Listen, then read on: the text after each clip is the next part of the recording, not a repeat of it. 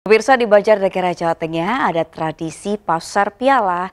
Pasar pala, pasar tradisional yang khusus menjual makanan tradisional yang terbuat dari hasil bumi. Sayangnya pasar unik ini hanya ada satu tahun sekali.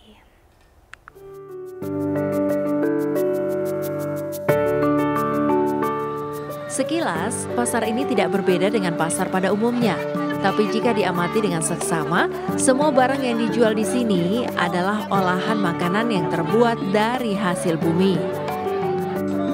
Ya, inilah tradisi pasar pala tahunan yang digelar di Desa Kalilunjar, Banjarnegara, Jawa Tengah. Uniknya, untuk bisa berbelanja di pasar ini, pengunjung harus menukarkan uang rupiah dengan koin kayu tradisional sebagai alat jual beli.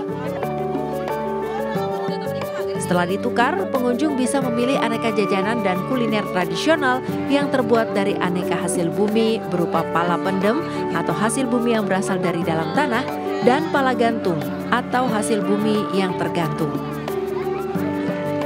Makanan tempo dulu yang saat ini mulai jarang ditemukan pun tersaji lengkap di sini. Mulai dari jenil, mata roda, nogosari, aneka getuk, hingga klepon. Pengunjung yang datang ke Pasar Pala serasa berbelanja di pasar era tahun 70-an. Konsep uh, pasar pala ini seperti apa Mbak?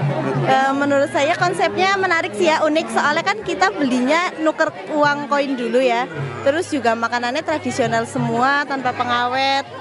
Enak-enak juga sih. Oh ya, di pasar pala ini kebetulan ya kita jualan dari hasil panen bumi.